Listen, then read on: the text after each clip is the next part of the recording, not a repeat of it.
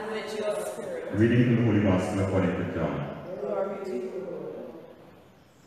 Near the cross of Jesus stood his mother and his mother's sister, Mary, wife of Clopas, Mary of Magdala. Seeing his mother and the disciple he loved standing near her, Jesus said to his mother, Woman, this is your son. Then to the disciple he said, This is your mother. And from that moment the disciple made a place for her in his home. The Gospel of the Lord. Praise to you, Lord Jesus Christ.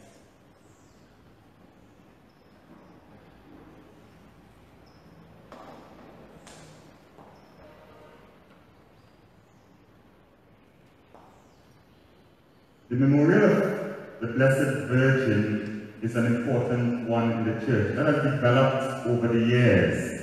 It has developed and taken place all over the liturgical calendar until finally it came to rest here. And I think it's a rightful place for it to be. In a real sense, looking at the sufferings of Christ through the eyes of Jesus, of Mary. In the Passion of the Cross, I think, in the Passion of the Cross, um, the, the depiction of Mary at the Passion of the Cross was an important depiction. It depicted Mary, it depicted um, Jesus suffering but through the eyes of his mother. And, and I think one of the insights for me in, in, in looking at the Passion of the Cross, if you have enough time to look at it to the end, is that you begin, to, you understand the suffering that Mary went through. You understand the suffering that she had to go through. Anybody here ever had to, or anybody listening ever had to bury a child? Yeah? To bury a child, one would know what Mary would go through. But it's not just burying a child, but to see your child suffer and die unjustly before your eyes as a mother. Therein lies a great suffering. Therein lies the great suffering of Our Lady. To be able to make the journey with her son. She never abandoned him. She never abandoned him, but she followed him all the way to the foot of the cross and watched him die. To watch anybody die is difficult, but to watch your son die is even more difficult. It's even more challenging. And, and that was the, the, the climax of the suffering of Our Lady. And so in a real sense, the church says Mary enters into a deep compassion with her son, with the sufferings of her son. She enters into deep compassion. And this seven, and, and this compassion, this participating, Mary is, is at one at the same time, one cooperates fully with, with Christ, with the, with the salvation of all. And in order to do so, she has to share in the sufferings of her son. She has to share in the cross of Christ Jesus. You know why? Because she is a disciple.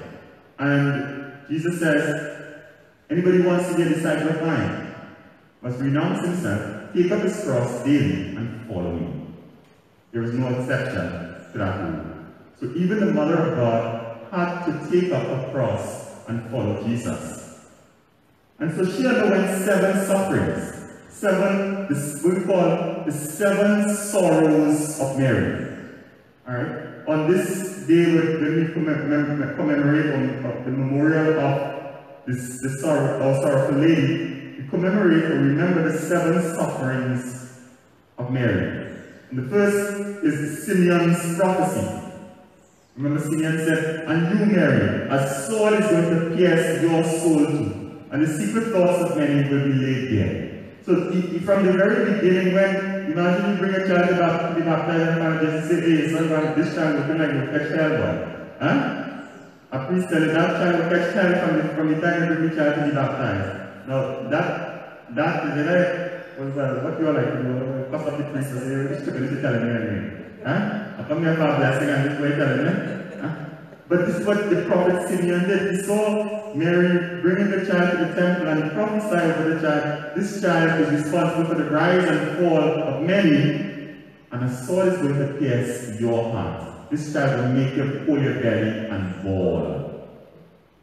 And that was the prophecy of Simeon. So that Mary is still suffering. The second the flight into Egypt. When she recognized that Herod wanted to kill her son, and she had to flee, she took refugee status. Came from Venezuela to Trinidad. I mean, sorry. She, she took refugee status, and she traveled uh, all the way from um, Nazareth into Egypt, where she stayed until her son was was uh, was fully grown, or came back into Nazareth from Bethlehem. Three days lost in the temple. And the third suffering of Mary. Not being able to find her son after when she recognized that he was lost in the temple. And, I you can imagine the anguish and the pain and the, and the, and the anxiety of not knowing what happened to the child. Wait, I thought I thought the child was with Auntie Mary Magdala. I thought the child was with, with, this one. No, the child, I can't find the child. Can you imagine the anguish uh, that would have been undergoing with, with Mary not being able to find her child after three days. And in, in the midst of all of that, that was part two of her suffering. Meeting Jesus with the cross. And this is not in the Bible, but in, uh, in the Passion of the Cross, we saw Mary encounter with Jesus when she fell, when he fell and she went to him. This is an artistic depiction or interpretation. I think some of the saints may have had these visions, but this is not biblical. But it was beautiful anyway, nonetheless. You know, to be able to see when both of their eyes may fall, and when he is under the weight of the cross on the ground, and she's helpless to do anything. Ah, I think that would have been the biggest cross. Not being able to lift a finger to help the suffering son under the weight of crucifixion. And we, we saw the kind of crucifixion that what it meant, we, came to understand what crucifixion meant both in Hebrew and, and to the Roman people on the, when we looked at the Triduum. And it's not just the crucifixion, it's the embarrassment. Because crucifixion was a, a very, it was a horrible thing, and it was something that was reserved for the worst of the worst of criminals. Not anybody was crucified, so the embarrassment to know that your son is going through this crucifixion. You want ah, to be as far away from that child as possible. You don't want nobody to know that child. Yeah? You shame. But what did she do? She accompanied him. She accompanied him. She was with him. And when he fell, she was there to look into his eyes and say, Courage, my son. Courage, you're not alone. I'm here with you. And then, and then the crucifixion. To, to, I, I, I, I, I, I, I don't. When you understand, when I, when I came to understand what the theater reflected on the triduum, what the crucifixion was, and, and the fact that it was a process in which the Romans perfected to inflict the most amount of pain on anybody over the longest period of time. So it was a process that was inflicted to pain you and to shame you. That was the crucifixion. And here you as a mother hear your son under the cross and, and you, you seeing and hearing your son crying out, My God, my God, why have you forsaken me? I thirst. Give me something to drink. Huh? And somebody bring out some some some vinegar. I don't know, Mary had to be married because the monk of us would have taken place there on the bottom of that cross. But it teaches us that in the midst of all that we we go through at times, that to embrace all the pain and to allow that to be transformed into a space of prayer and offering is something that we all have to learn.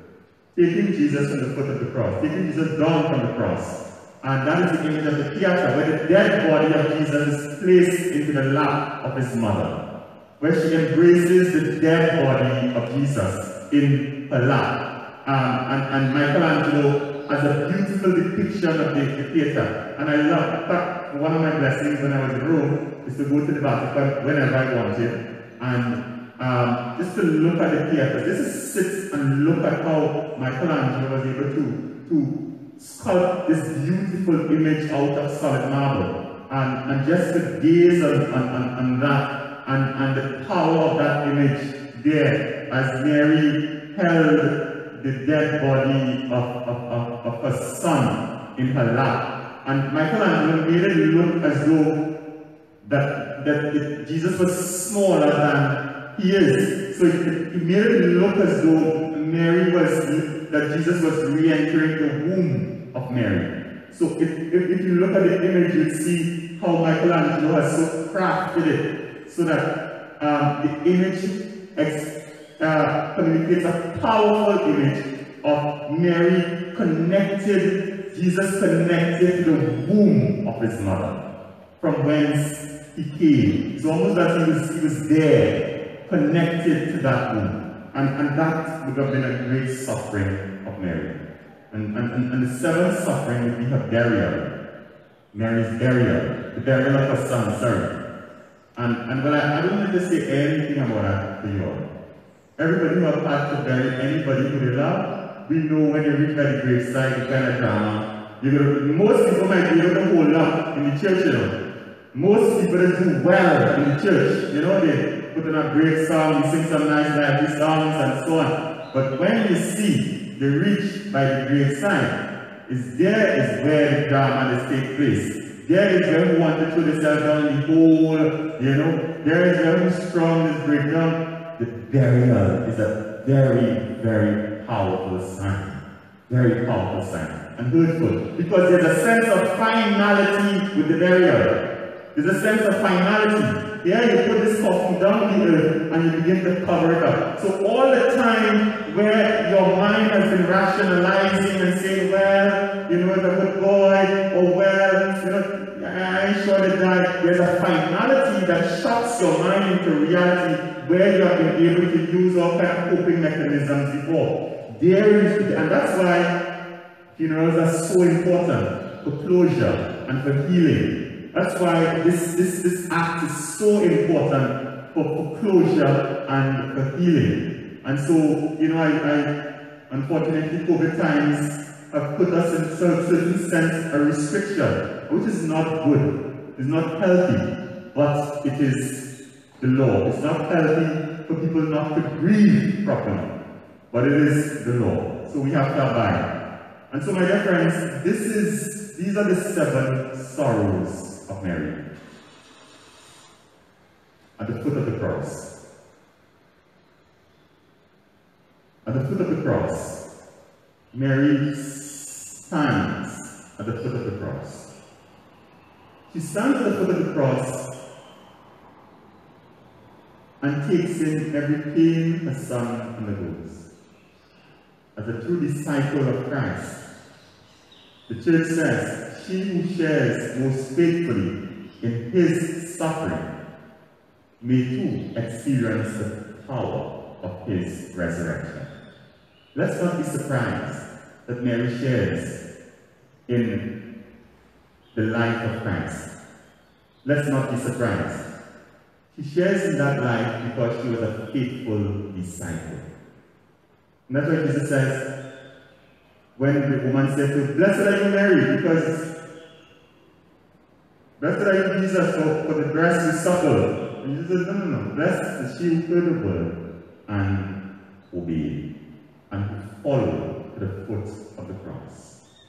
My dear friends, these two are invited at the foot of the cross, let us bring compassion, not just for our own family members, but for all humanity. To feel the pain and the suffering that all people are going through, and to enter more fully into the, into the experiences, so that we might be there for them, that support them, to help them up, to show them that they are not alone, that they are never alone, but that the Lord Himself continues to be with them, and Our Lady journeys with them in prayer.